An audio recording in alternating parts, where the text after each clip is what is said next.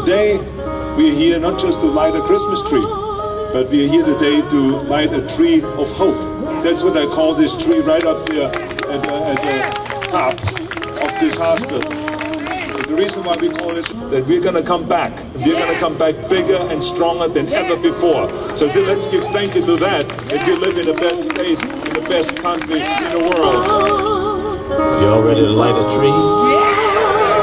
Think we're going to start at uh, 10, 9, 8, 7, 6, 5, 4, 3, 2, 1.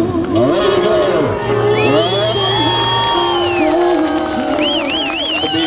Light.